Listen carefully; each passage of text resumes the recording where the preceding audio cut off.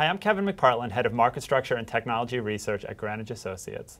The bond market has been going through a lot of changes over the last few years. Today we're going to talk about what those changes are and what that means for the industry. I'm here with two industry experts. Uh, if I can ask you both to introduce yourselves and then we'll get into some questions. Hi, I'm Konstantinos Antoniadis, Head of Fixed Income at Liquidnet.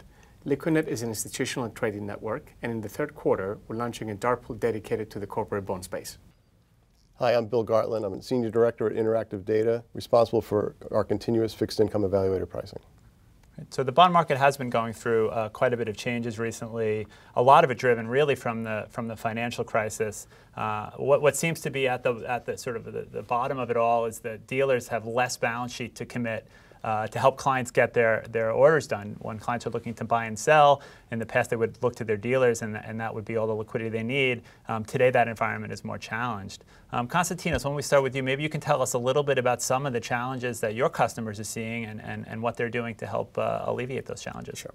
So what we've seen since the beginning of the financial crisis is that the size of the asset class has increased dramatically. Uh, at the same time, the size of the capital that is available to service the asset class has shrunk. As a result, uh, our institutional clients are looking for other avenues of liquidity. Now, in order for these avenues, such as electronic trading platforms, to be efficient and deliver the maximum power, let's say, to the user, we need to make sure that all the ingredients are in place. And one of the ingredients is the availability of pre-trade data, which can be used by the institutional investors to decide whether where, where they would like to buy or sell a specific security. And second, um, to use this information to justify best price execution and execute a transaction cost analysis. Right. So, so clients are taking uh, taking more into their own hands than they, than they have in the past. Bill, what are some of the tools that they need and that they're looking to today, the investors, to, to do that? Well, the, the tools I think they need are, as Constantino says, pricing. Right. Um, you know what they're seeing today from the dealer community is diminished. What, you know the number of CUSIPs that actually trade as a percentage of outstanding is going down. There's a cluster of bonds that trade more frequently, um, but you know, liquidity, part of the liquidity problem is that there's not more bonds that you can trade. Part of the problem there is to get a price at which you're willing to start a trade. Um, we've been in the end of day pricing business for, for 40 plus years. Uh, we've, over the past several years, changed the way that we do that, uh, that provide those services and, and what we can do internally, and now can consume data and, and make those evaluations throughout the day, and more importantly, get the information into the hands of the client so that they know they have an independent opinion about where value resides and feel more comfortable to trade some of the bonds that otherwise are not really trafficking in the market. Right, and, and, you know while the role of the dealer has changed, um, and in some cases they've had to back away a little bit, you know the market still needs the dealer. So you know how are these tools and technologies uh, just helping to create a more efficient market while still sort of including all of the market participants? So institutional investors are looking for a market structure and marketplace which is better than what we have today and with more liquidity and which can facilitate more liquidity than uh, what we have today. That means that uh, our clients want what's there now, the voice market, and on top of that, some deep institutional pools of liquidity that help them get trades that cannot be easily facilitated via capital commitment or via the traditional channels. Right. So, so the market's obviously gone through quite a bit of changes. There's no question we're, we're almost 20% uh, of volume in investment grade is trading electronically today, which is a huge jump from just a few years ago.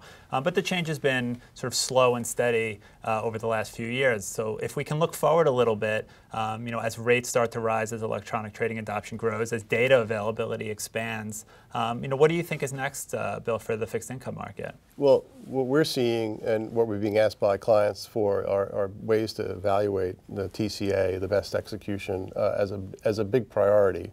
Um, you know, as we introduce new ways to trade, there's more places to go. It still remains a decentralized system, though. So, you know, are you getting great execution on uh, on Liquidnet, or you know, where where are, you know what are the best places to go to get? How do you prove that the prices that you received were, were quality prices? Uh, you know, there's regulatory imperatives that, that are driving that as well, as well as just best practices and understanding what you're doing and, and where you ought to be uh, trading. Sure, and, and, TRACE data is just not enough in today's market structure. TRACE data is a big input for us. Uh, it's an important input, but it's not the only thing that we see, and it's not, you know, and the markets are so dynamic. You know, what happened 20 minutes ago on TRACE um, still needs you need some judgment on where what does that mean for now. Um, and you know that's what we do for a living. We, we, you know, we have a team of over 200 people who do nothing but tr- uh, price bonds all day long. Um, and you know, for our clients, that, that's a big team in the bullpen to help them out. Absolutely. Konstantinos, where do you see next for the fixed income market?